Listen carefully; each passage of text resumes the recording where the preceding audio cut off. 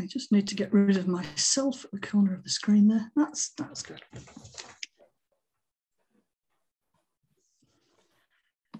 Right, there are several different ways to collect airgraphs. You could choose to study the designs of the forms and the technicalities of the printing, or restrict yourself to collecting only those original forms which have postal indicia on the reverse to denote payment of a fee. I've chosen to concentrate mainly on illustrated airgraphs and where possible, original forms for these, as I think they introduce a general audience to the subject in a non-intimidating way and often give a hint of the Allied servicemen's well-known wry sense of humour. Illustrated airgraphs are also a rich source for thematic collectors.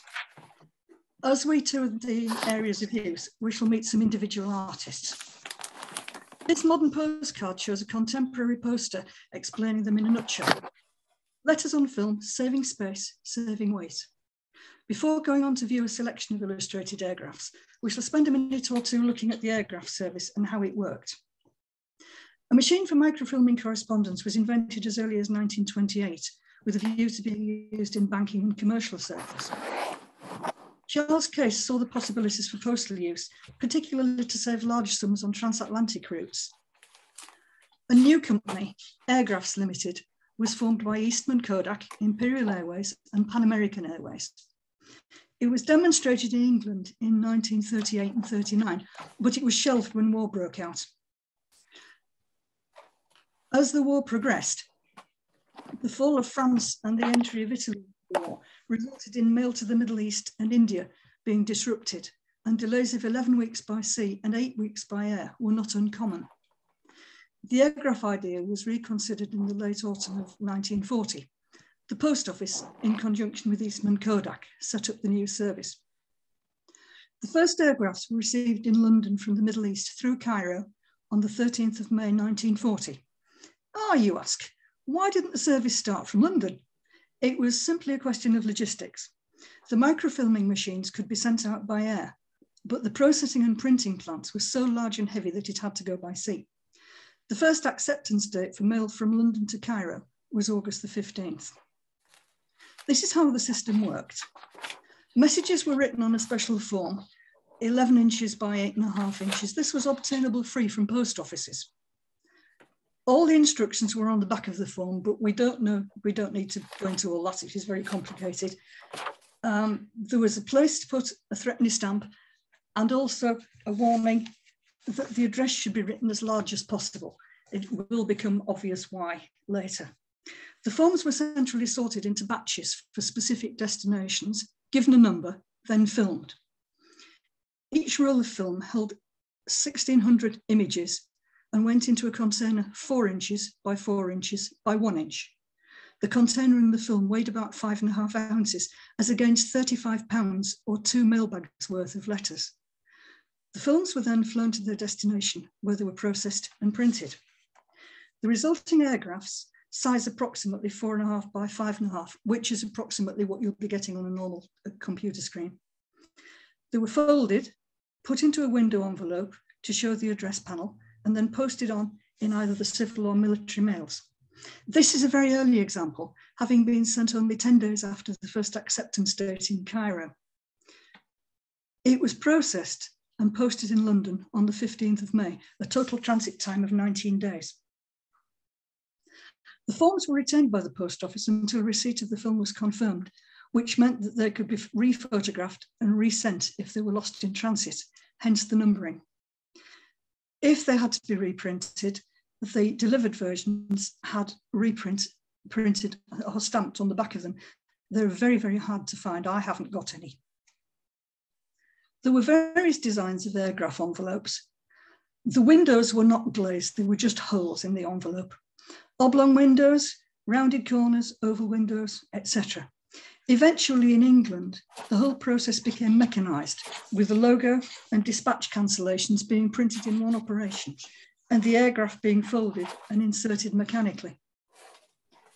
Some envelopes were very crude and of poor quality paper, particularly the Egyptian ones.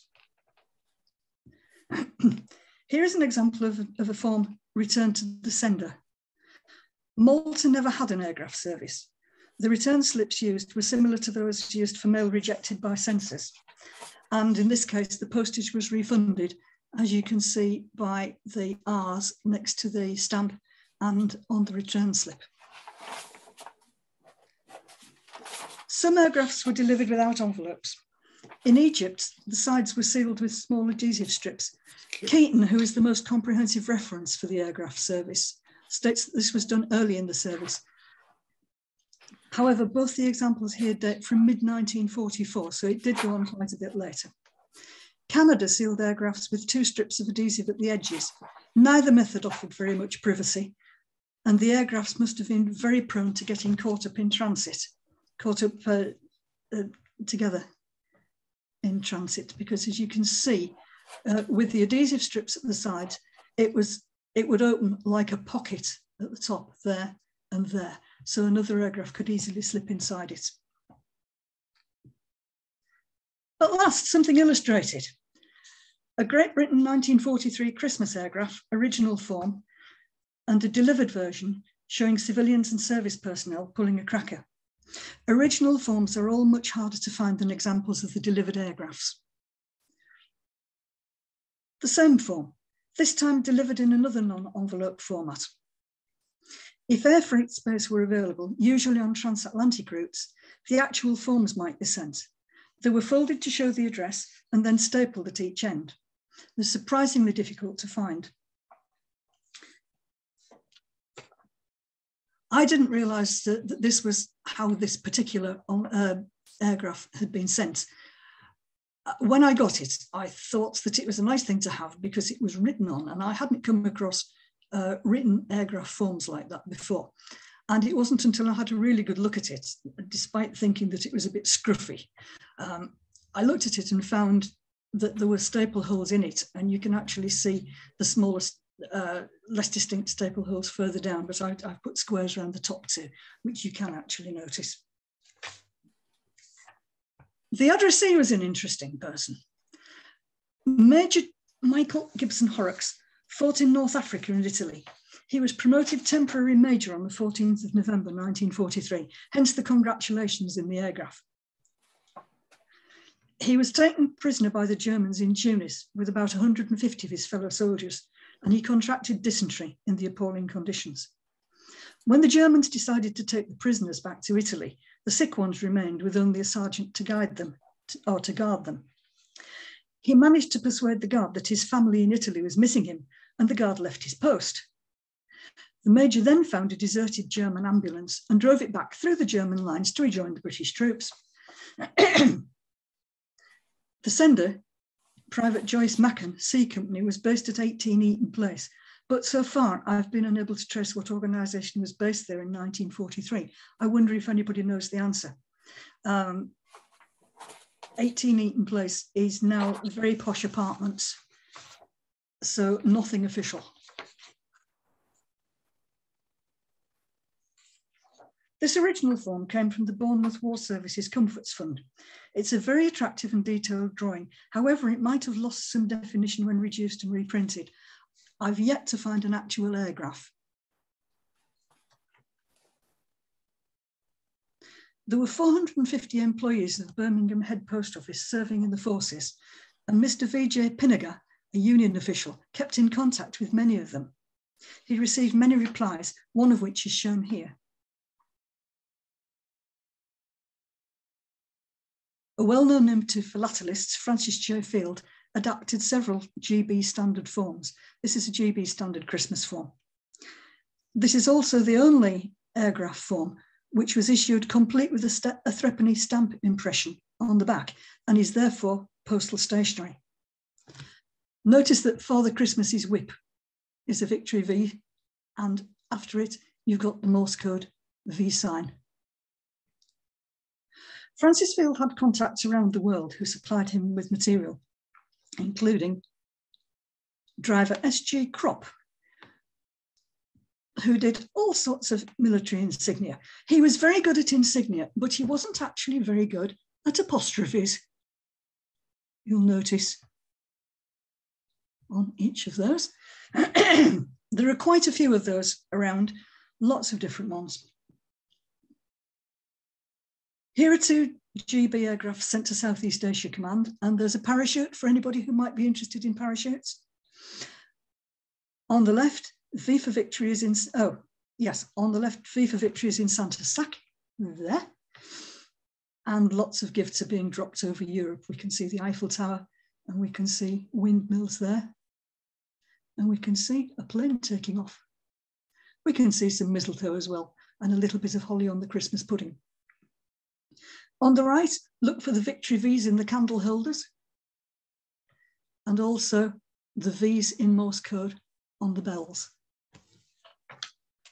We now move to a group of airgraphs from abroad, starting with Middle East Forces, MEF, which was mainly Egypt. These two Christmas 1941 examples both show address panels at the bottom, as appeared on the earliest plain airgraph forms. This was soon found to be awkward and the panel was moved to the top. Here's another original form, this time from HMS Stag, which was later renamed HMS Saunders. This was a training base at, uh, on Egypt's Little Bitter Lake. There was a big concentration of logistics, training and maintenance facilities in that area. Um, a lot of aircraft came up through that area, having been delivered, crated into um, into South Africa or uh, further around the coast. And they, they were uh, put together in that area and then flown up into Egypt, into the upper part of Egypt. A rough interp interpretation of the signal flags, though it's not absolutely 100%, is I am dragging my anchor, which he is. I am altering course to port, which he could be because he is pulling the reins. I require a pilot and do not pass ahead of me. Also note that he carries a brush and a bucket. We all know why. And he has a post no sticker on his stern. Here are two more naval types. On the left, HMS Klo, which was damaged by a German aircraft off Mersa Matruh in 1941, later rescued survivors from HMS Jaguar of Sidi Barrani in 1942. Those of you who are familiar with the, um, with the North Africa Theatre of War will know where those places are. As with many airgraphs, the focus of these is not very sharp. And this is a good example of, of why people were told to write as large and as clearly as they could.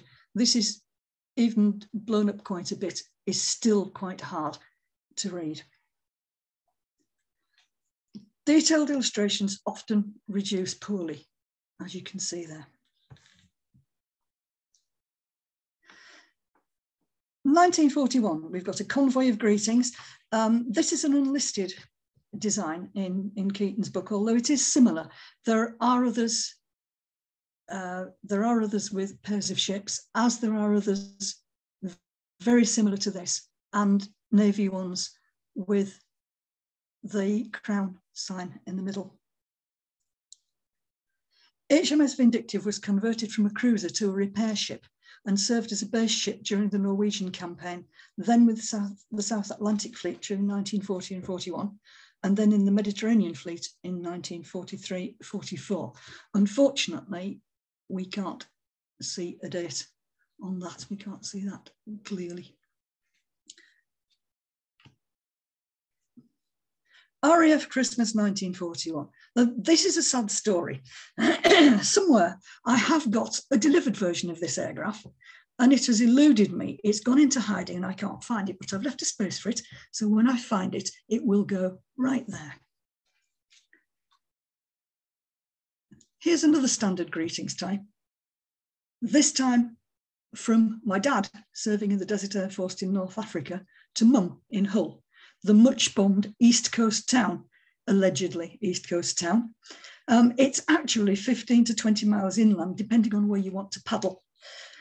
Um, the statistics for Cairo, for anybody who really wants to know numbers, there were from Cairo, prints made in London from Cairo, there were 65 million 913,473 prints made in London from Cairo. This is one of the biggest areas. Um, those were the forces ones. There were over 2 million civilian ones as well from the same place.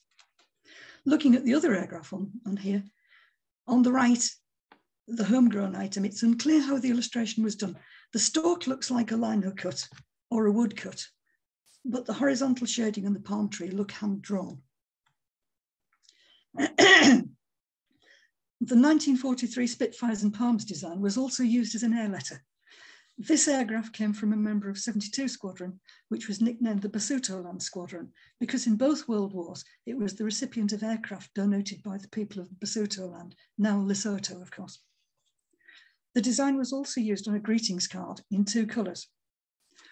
Often with window envelopes, uh, if one gets them with an item, one has no guarantee, particularly with the airgraphs where the window is smaller, one has no guarantee that the envelope that arrives with the airgraph is the one in which it was actually dispatched. It can just have been put in there by a dealer who had a spare envelope.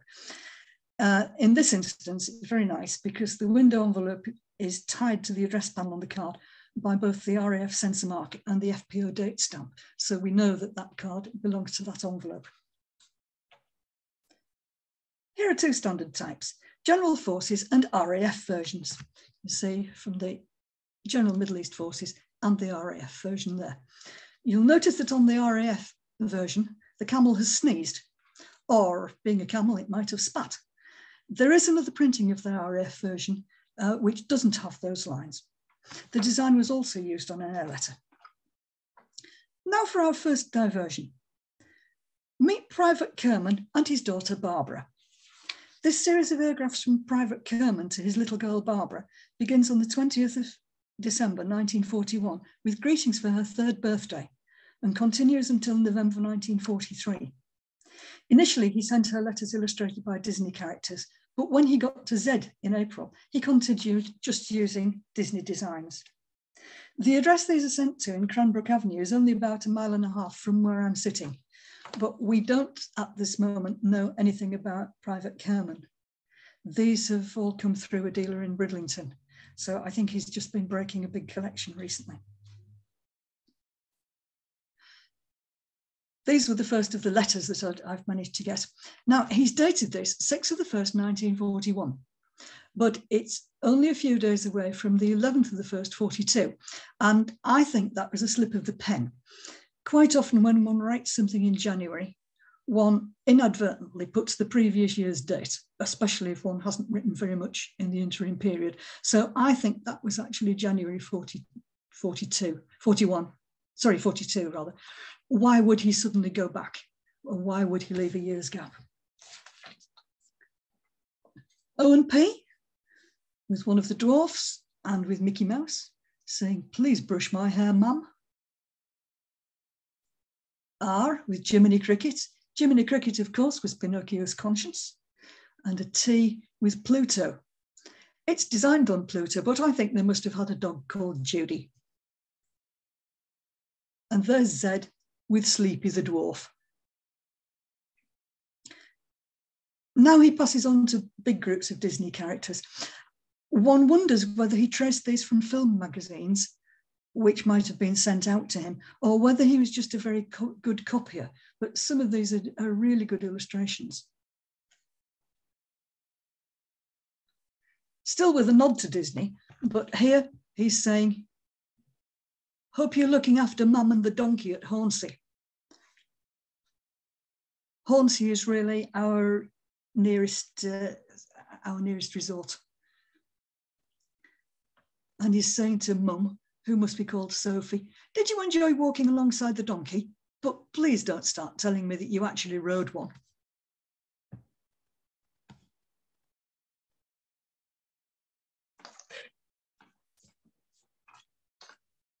Pinocchio again, this time with Geppetto, who was his maker. Geppetto wanted him to be a little boy, and in, in this picture, he hasn't got any strings. And also there's the admonition to eat more carrots. Remember being told to eat more carrots so that you could see in the dark? Goofy and Clarabelle dancing. Try this with mum. And Donald Duck joins the army. Donald's a soldier now. Two rather different ones. November 1943, looking forward into 44. This is the first mention of boys' names, and I wonder whether these were, uh, were younger brothers. Uh, we've nothing to tell us. And the old fashioned Christmas greeting is to his wife. Rather a nice drawing.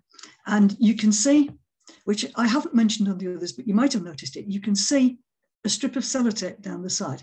All of these had strips of sellotape down the sides of them and still have. Um, I haven't found a way yet of getting it off without taking some of the emulsion off. Unlike most of my other airgraphs, in fact, all of them, um, all these have three pinholes there, there, and there. And I don't think it's something that's happened later. I think it's something that, that's happened in the printing process or in the, um, you know, the, the pulling of the material through the machines process, but I haven't seen it before. But some of them have been cut down, you can see that this hasn't been cut down exactly straight. But the sellotape doesn't turn around and go onto the back. So they might have been stuck together so they would go concertina fashion. They had also, at some stage, been stuck down in a photograph album. So there was a lot of very thick, very low quality grey paper on the back which I had to take off very carefully because otherwise, the um, when scanning them, they came up with very big dark coloured marks on them, which detracted. So I've had a go, but I'd, i might find a way to get sellotape off without taking the emulsion off at some later stage. Let's go back to the main story. British North Africa forces. The first army landings in North Africa took place in November 1942 but the airgraph service with the UK didn't begin until March and April 1943, after a processing station had been established in Algiers. Here's an unlisted type, quite a nice complicated one with an RAF logo in the middle, and then a hand-drawn one, poor soldier standing out in the rain, dreaming of sitting in front of a fire with his warm slippers and his cat on his knee. We all need a cat on our knee, don't we? Two more standard types, the goat charmer and a group of servicemen. This is one of those where the envelope logo and postmark are all printed in one process, as you can see at the top.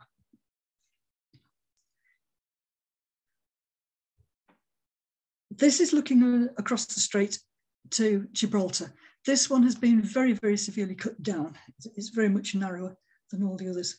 The, the Gibraltar item does show how inaccurately cut some of the printed rolls could be. You'll see at the top, there's a little bit of another airgraph underneath. And you can also see the very diagonal cut at the bottom. Um, with the ones, apart from the Kerman ones, which we were just looking at, all the others, the sides are straight, the physical sides are straight. So if they look lopsided, it's the print they were printed on, on strips of paper, so the sides are going to be true all the time, though the airgraphs themselves might not be. 567 Searchlight Company served extensively in GB before being deployed to North Africa, including some places in East Yorkshire, including Hornsea, where we were looking at the donkey a few minutes ago. I've highlighted the searchlight here and, and enlarged it for you to look at. And you don't really get an idea of the scale of it from that. But if I show you a postcard, that's the size of one of those searchlights. Moving on to the Central Mediterranean forces. After the invasion of Sicily and subsequently Italy, processing was continued in Algiers for all CMF mail until Naples was captured and a processing station set up there from June the 6th, 1944. There were two types of this standard CMF Christmas design. And it's one of the easiest ones to find. There are lots of these around. Um, the, uh, the original form itself is not so easy to find, but the airgraph itself is. Um, there were two types here.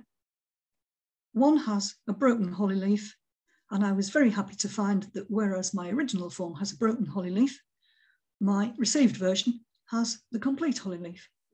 So you can see both versions there. Two standard types here, each showing the path of the Eighth Army from Egypt to Italy and showing the different, different battles coming through Libya, Tunisia, Sicily, and then into Italy. Same thing here. And walking over a swastika you notice.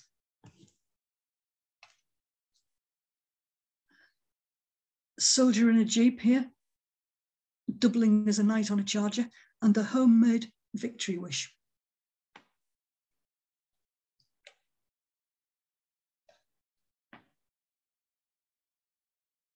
One here from 214 Transport Company, Royal Army Service Corps, as you can see, and a nice hand-drawn one on the right. When in Civvy Street, we used to say, here's mud in your eye. Now, here in Italy, there's mud everywhere.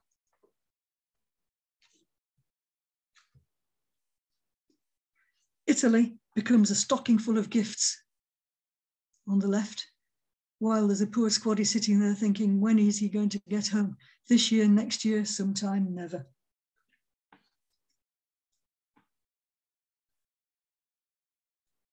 The airgraph on the left looks very dull and bleak and uninviting. It is actually a Cassino where, of course, the, uh, the monastery on the top of the, the hill was nearly blasted out of existence during the fighting. The one on the right is an Indian, uh, is an Italian, sorry, standard type. Then we see battle honours for the Duke of Carrick's own Ayrshire Yeomanry, is a very nice bird in the middle of it, and there, there's their logo. And on the left, 10 Corps is coming. Christmas is coming, Adolf. So heartiest Christmas wishes, and not to Adolf. On the left, a hand-drawn design, and on the right, a unit type. AMES is Air Ministry Exper Experimental Station. That was a radar station. It's a request to the Forces Favourites programme for have, having I'm Dreaming of a White Christmas played.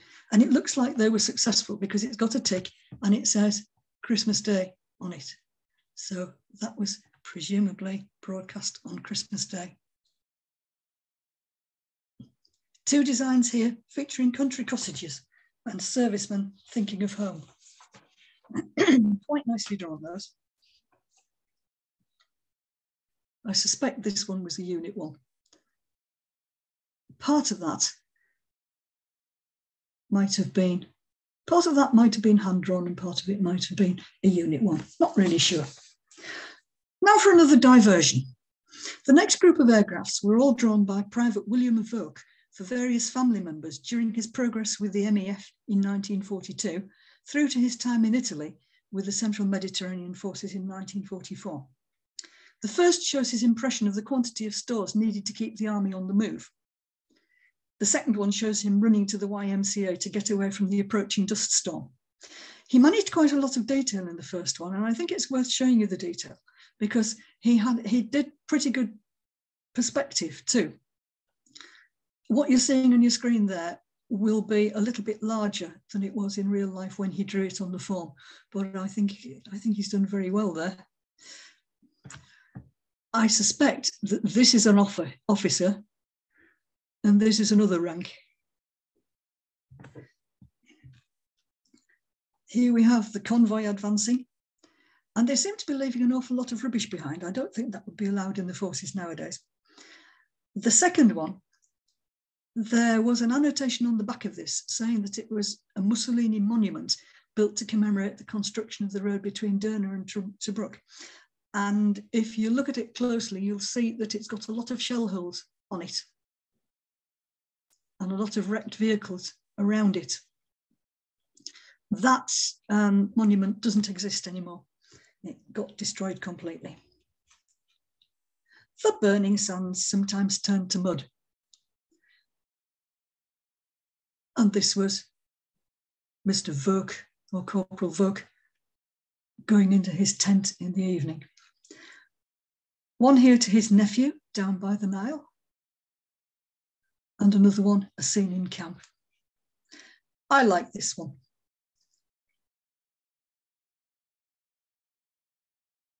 To become a casualty, just stop on the road. Of course, you, you were prone to getting a shot at by passing aircraft. This chicken is asking itself the age old question Why did I cross the road? The army will brew up anywhere, even if it means stopping on the road and staying close together in a convoy. Trucks avoiding the road patrol and Uncle Bill invading Italy. Poor man, he's all on his own. Hope he took some friends with him. And then, of course, a very laudable sentiment when in doubt, brew up. And a diversion on the road to Rome. The viaduct is completely US, doesn't work at all. And the last one of this section our aircraft attacked transport. I'll say they did. And the harvest of landmines here, when I first looked at this, I thought, apart from the landmines that have been pulled out here, I thought that this looked like a little bit of somebody's exhaust system, like a silencer falling off a truck. But people who've looked at it have said, no, it's some sort of grenade or, uh, you know, that can be thrown and it's got a handle on it. It's a stick grenade of some sort. So a really good harvest of mines there. Returning to the main story, we now go to India. This was a rich source of illustrated airgraphs. The service began in Bombay in February 1942. The form on the left slipped out of alignment during filming and the corner became very crumpled. But as you can see, the cuts on this, so you can see that that is actually the airgraph itself moving, the form moving as it was photographed. And the world is shown as a giant Christmas pudding. On the right, there's a serviceman using his bayonet to cut up a pudding, watched by a tiger and a snake and a local beauty, whilst a monkey pelts them with nuts. There's also a plane coming in there. This was an RAF type. Then we have two unlisted designs. The one on the left from a major in the anti-tank regiment, and on the right, a rather plain Christmas 1942 one. Then we move on to Christmas 1944, an original form and the delivered version. Here we've got Santa pulling Victory out of his sack. Now, that's in the position where you would normally get a censor mark. I haven't actually said anything about censor marks, but you may have noticed some censor marks on, on the earlier airgraphs. Um, the dedicated airgraph censor mark was, particularly in India, was this little square one, well, oblong one, which should have been in that position there, but of course it's been filled up by Santa. And at the bottom of that one, we've got a list of destinations to which airgraphs could be sent. All sorts of interesting places, including British forces in Iceland, Nigeria, Gold Coast, Sierra Leone, all over the place. And from India, postage was three annas. And as it says there, the airgraph must be unit censored before dispatch. And here again, RAF Postal Service and RAF Welfare. A couple of Indian rope trick ones there. Santa, unable to find a chimney, comes down by magic rope much to everybody's astonishment. Rather than the rope, some travellers preferred a magic carpet, even if one of them was a customs declaration form. So this was just declaring lots of good wishes being sent from the RAF in India. And here we have another original form, plus the delivered version of the airgraph. This is trying to stay cool in the Indian heat. And we see again the RAF Postal Service and welfare on the bottom as we did on the previous one. There are probably very few people now who remember the sender, who was Flying Officer CRS Moon, known to us as Charles. He was a knowledgeable, well-respected and well-liked member of the Hull Philatelic Society in the 70s and 80s and was a big encouragement to those of us who were only just getting started. Very helpful to anybody who was interested in, in wartime material. Here's another design which also appeared on an air letter. This is troops from different areas. And you can see from the different headgear, which areas they came from. Here's an unlisted design for Christmas 1944, a very attractive one, but not in the book. It, this is one of those that I always want to colour in, particularly around the candle. In 1944, the Illustrated Weekly News of India held a competition to design a Christmas airgraph. This winning design showed scenes in England and India with what we presume is a homecoming troop ship sailing up the English Channel past the white cliffs of Dover. Notice how the shading has resulted in a muddy looking print. Whilst this looks very good on the form, you can see the shading in there. The actual delivered version comes out looking very, very blurred, but it's just because of the shading. It isn't because it's, uh, because it's dirty. It is reproduced uh, very poorly.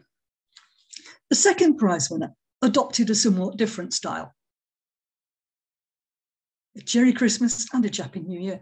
I've often used that particular slide or that particular um, airgraph as a signing off thing, a, a, a, signing off sheet for World War II presentations with societies. But it makes it a good thing, particularly if it's in the latter part of the year. We finish with a few assorted items from other areas, various areas here. Two drawings, I've got two more of these, but none of them have got a clear date. Uh, that one hasn't even got an FPO on it. The date isn't clear, but that was FPO 532, which was in Tunisia in 1942 through to February 44. I think that's rather an, an appealing drawing, even if he has got the eye wrong on the left-hand side. Little boys, obviously, enjoying his train set.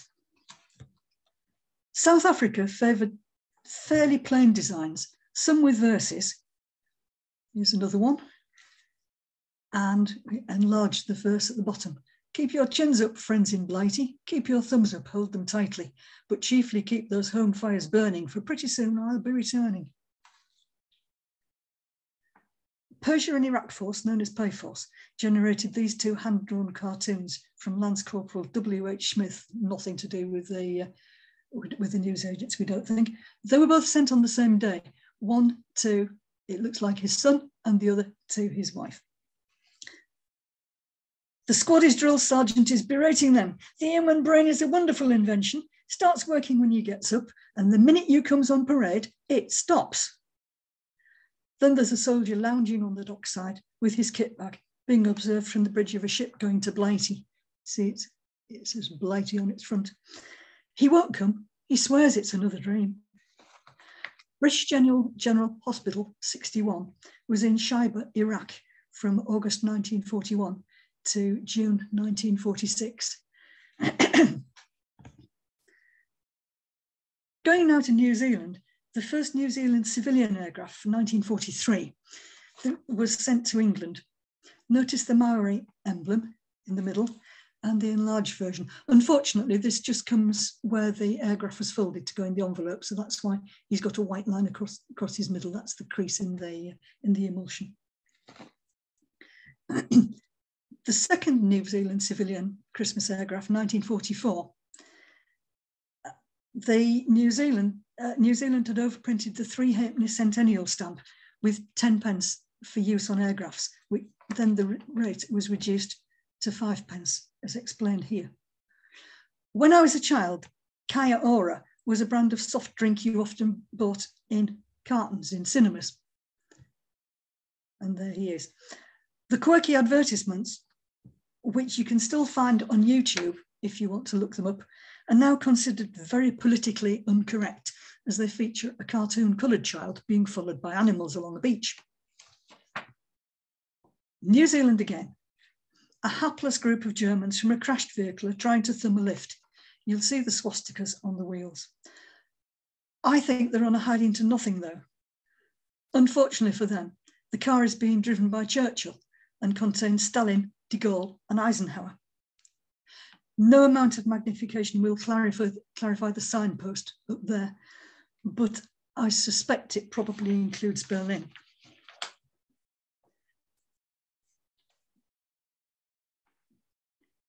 The Polish forces produced many, many designs, um, most of which one finds going from GB out to troops. Um, here are four different ones. They usually contained either a Polish flag or the eagle on the globe. Did, they did a lot for Easter as well as for Christmas. Very nice though to get these two items. This is an original form and we've got the analogy of the swooping eagle coming in for the kill and the black parachute, the paratrooper coming in. And here, this one's a particularly good one because it's actually being sent by a soldier in the Central Mediterranean forces being sent to New Zealand. So this is very unusual. I was very pleased to get that. That's one of the things that I found at London 22. And finally, a hand-drawn airgraph to an address familiar to collectors reminds us of what we all share. Philately, the hobby of kings. Thank you very much for watching.